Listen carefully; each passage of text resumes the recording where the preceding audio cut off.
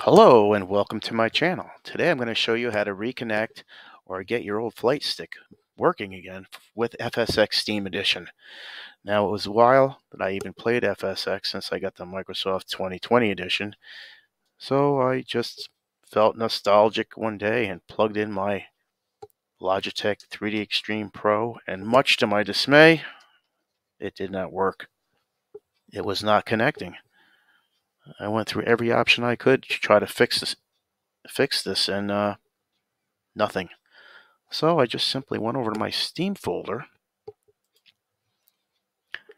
and uh, went to Microsoft Flight Simulator X, right clicked, went to Properties, went over to where it says Controller, clicked on that, and I came up with this menu.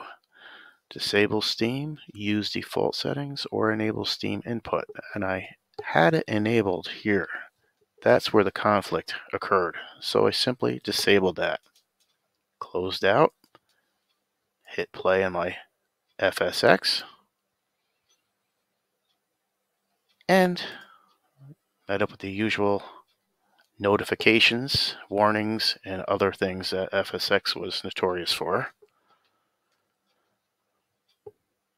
Now, just give it a moment, please. Almost there. Oh, and we have a security alert.